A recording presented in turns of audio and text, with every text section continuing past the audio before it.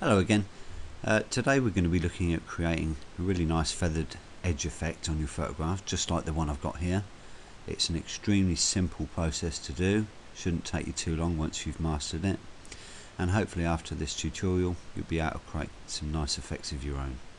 I'm going to close this image because this is purely to show you what the end result will look like. And we're going to work with this image here.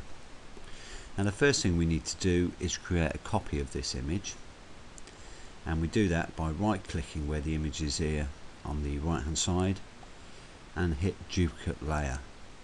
Doesn't matter what you call it at this stage. There you go it's created a copy over on the right hand side. Next we need to put a layer mask on this. And the layer mask icon is down the bottom here. Highlight the background copy and hit layer mask. And it's put one next to it as you can see there the next thing we need to do is go back to the background which is the layer now at the very bottom of the pile and we need to paint this white. Make sure you have your white selected over here. And the easiest way to paint the complete image is hold down the alt key and press backspace. And you can see on the right hand side it's painted the whole image white. Next thing we need to do is paint the layer mask black.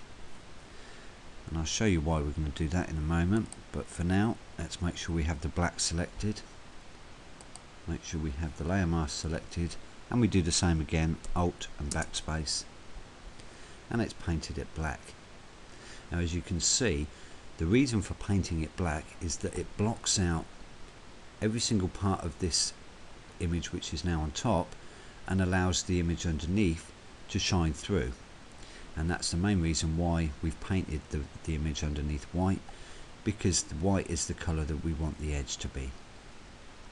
We now go over here and grab the paint tool. And make sure you've got a decent sized brush. If it's too small the effect won't work. If it's too big it might not be as easy to control.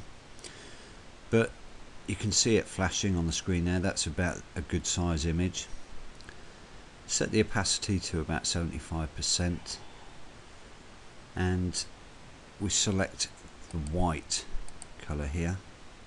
Make sure that is selected to white. And basically we just start painting. And you can see already because we're painting and we have the opacity set to about three quarters it's allowing very very slowly the image underneath to shine through and you can just keep on painting with this.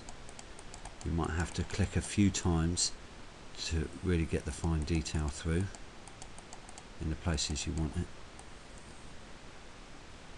But uh, it, it's just about the easiest way to create a really nice soft effect. Make sure you get all the uh, all the detail in the middle of the picture.